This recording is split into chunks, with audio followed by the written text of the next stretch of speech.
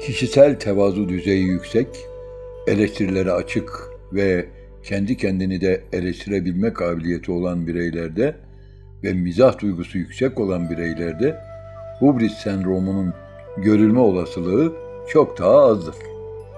Liderler tevazularını korumaya çalışmalı, şimdiki pozisyonlarından önceki hayatlarında olduğu gibi yaşam tarzlarını korumaya devam etmelidirler.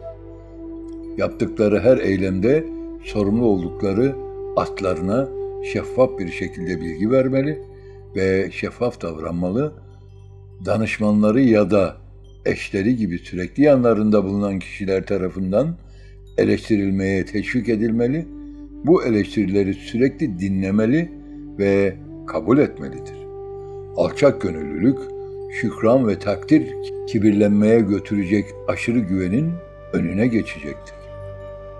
Özgün bir yönetici olabilmek, yani inisiyatif alan kuruma karşı duygusal bağlılığı olan ve bulunduğu makamı her an vazgeçebilir olarak düşünmek, yani tevazu ile hareket etmek, bu sendromdan uzaklaşmak için yardımcı olabilir.